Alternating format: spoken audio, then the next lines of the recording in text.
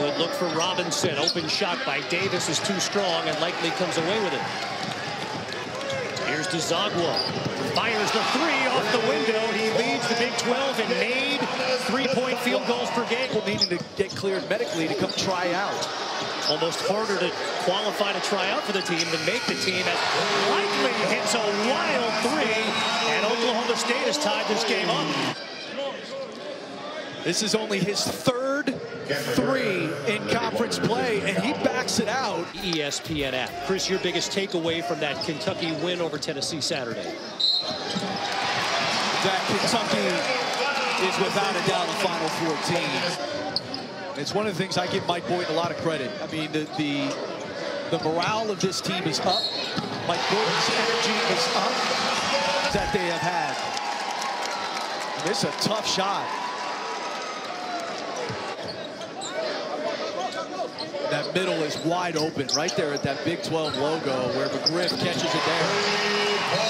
And the fourth made three-pointer for Thomas Dziagwa. Chris, who, who's the other guy? Who's, who's got to get it going here for TCU outside of Robinson? This guy with the ball right here. He had 26 points in the first matchup between these two teams.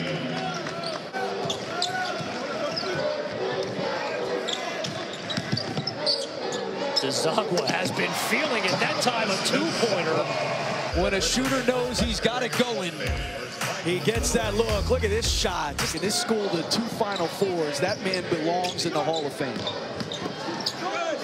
It's so uh, took a Creighton, Arkansas, Kentucky, and Oklahoma State to the NCAA tournament. As Chris said, 806 wins.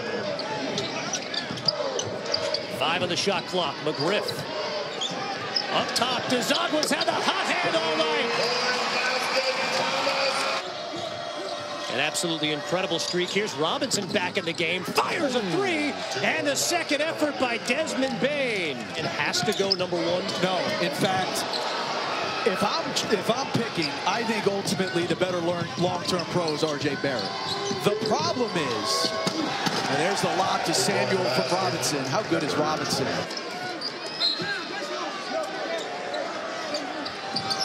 Bane left open from the corner.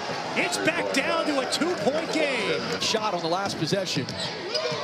Working on Bane. Waters falling away again. Look at Likekele. Robinson. Miller a corner three. It doesn't matter.